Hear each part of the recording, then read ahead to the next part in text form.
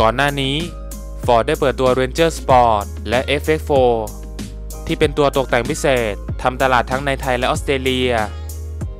ล่าสุดมีการจับภาพ Spy Shot Ford Ranger Street ขณะทำการวิ่งทดสอบในเมืองไทย ภาพ Spy Shot ชุดดังกล่าว สมาชิกแฟนเพจได้ทำการส่งมาให้เราชม เป็น Ford Ranger ตัวถัง Open Cap สีขาว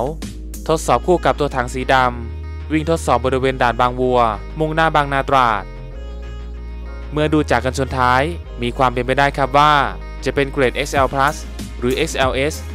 พร้อมตกแต่งโทนเข้มสีดำ อักษร Ranger ที่ฝาท้ายสีแดง และมีการแปะสติกเกอร์ Street ที่ด้านบนฝั่งขวา นอกจากนี้ยังมีลายค่าด้านข้างตัวรถอีกด้วย